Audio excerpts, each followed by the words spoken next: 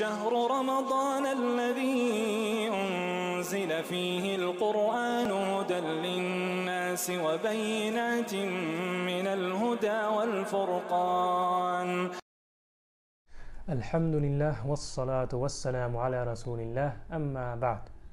Vandaag kijken we inshallah naar het ene laatste vers van Surat al-Nas. Gisteren hebben we gekeken naar het vierde vers en hebben we stilgestaan bij de shaitaan en zijn kwaad. Het feit dat de shaitaan ons, onze vijand is. Zoals eh, de shaitan tegen Allah heeft gezegd: lahum siratakal mustaqim. Yani, de shaitan heeft gezegd tegen Allah dat hij eh, ons zal proberen te verhinderen op het rechte pad van Allah.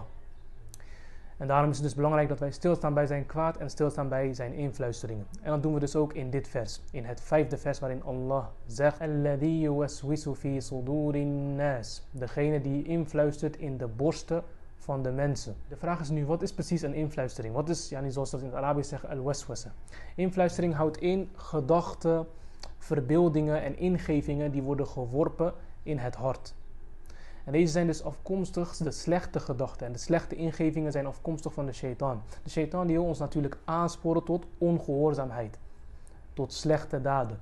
En hij maakt bepaalde begeertes, maakt hij wellicht aantrekkelijk voor ons. En bepaalde daden die niet uh, kunnen en incorrect zijn. En sterker nog, het kan zelfs zo zijn dat er een daad is die in principe wel goed is, maar er is een betere daad waarop de shaitaan probeert ons aan te sporen de minder goede daad te doen.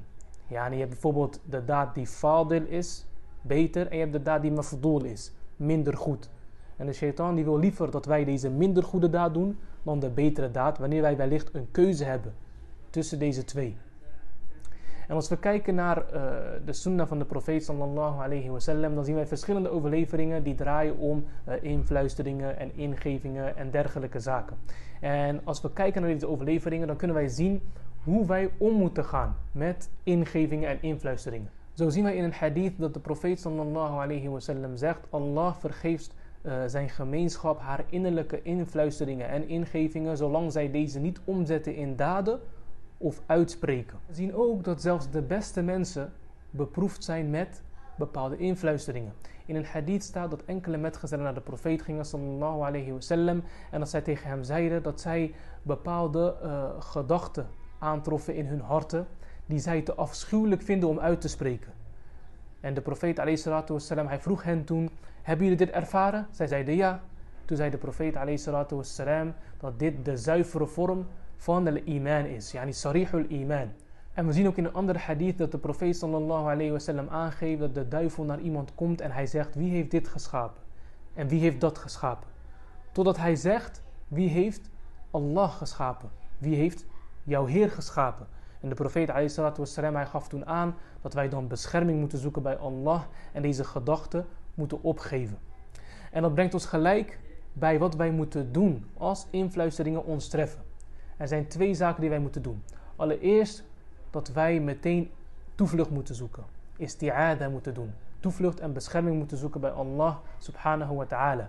En het tweede wat wij moeten doen is deze gedachte volledig negeren. En er natuurlijk niet naar handelen. En dat brengt ons meteen bij een belangrijke opmerking. En dat is dat wanneer wij getroffen worden door bepaalde ingevingen, slechte ingevingen en influisteringen, dat wij meteen deze gedachten moeten stoppen. Blijf niet hangen in die gedachten. Want als jij blijft hangen in die gedachten, dan kan die gedachte leiden naar een andere gedachte. En dat kan weer leiden naar een andere gedachte, totdat het zover komt dat je misschien gaat handelen naar die gedachte. Dus wanneer jij zo'n slechte ingeving of slechte influistering krijgt, kap deze meteen af. Stop meteen deze gedachte, zoek toevlucht, toevlucht bij Allah en handel natuurlijk niet naar deze gedachten. En spreek er ook niet over. Dat is ook belangrijk. Dat je er niet over spreekt. Dus nogmaals, wanneer een influistering jou treft, doe isti'ada, zoek toevlucht en bescherming bij Allah. En ten tweede, praat er niet over en handel er niet naar. Verwerp deze influistering volledig. Dit was het vijfde vers van Surat An-Nas.